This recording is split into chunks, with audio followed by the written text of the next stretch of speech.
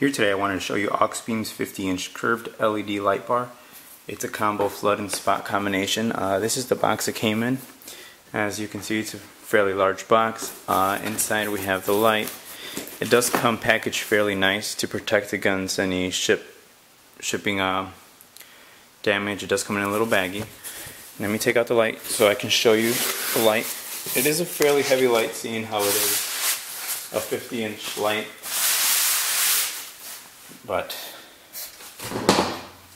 here we have the light. As you can see it has like these little reflectors or I would say um, projectors on the light to help out with the throw of the light. This is the front of the light. The back of the light it has its cooling fins it's all metal construction.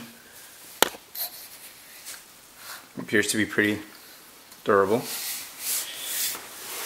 on this side of the light we have a little spout right here which is supposed to help with condensation buildup.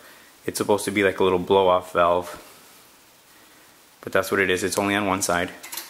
Again, the cooling fins. And here we have the mounting location for the brackets. They're generic brackets that might be able to use or you may not depending on what vehicle you're putting them on. But basically that's it. It's a pretty rugged LED bar. And it comes with about, I want to say two and a half feet of wire that you can use. So you are going to have to purchase a wiring harness for this light. But it does got a good amount of wire to it. Oh, there it is. So it's here. It's just two bare wires you have the positive and your negative. But that's it for the light. Nice heavy duty light.